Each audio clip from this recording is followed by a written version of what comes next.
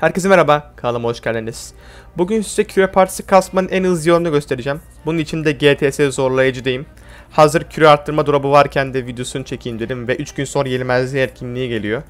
Ve bundan sonra e, Özçüre etkinliği gelecek. Ondan sonra da Yıldız Altın etkinliği gelecek. Yani önümüzdeki etkinliklerin hepsi küre parçası istiyor.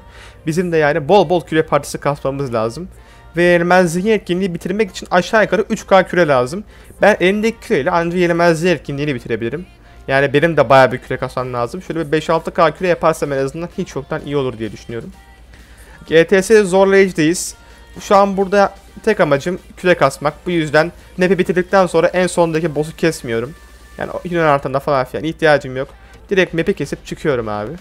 Zaten zorlayıcı olduğu için çok rahat da kesiyorum. Lan girdim. Zaten zorlayıcı olduğu için çok ra- rahat kesiyorum. Map o kadar zor değil.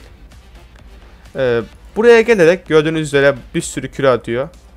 Ee, tur başı aşağı yukarı 3-4 küre alırsınız. Bazen şansınıza yerden 5'i drop atıyor.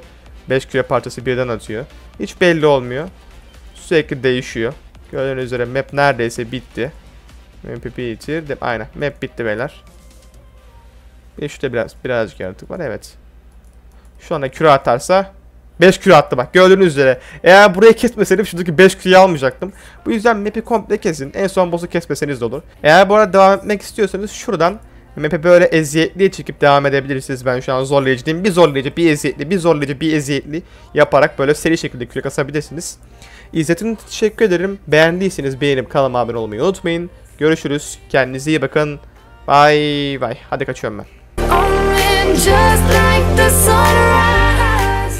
come around, got the whole thing wobbin', wobbin', wobbin', wobbin'.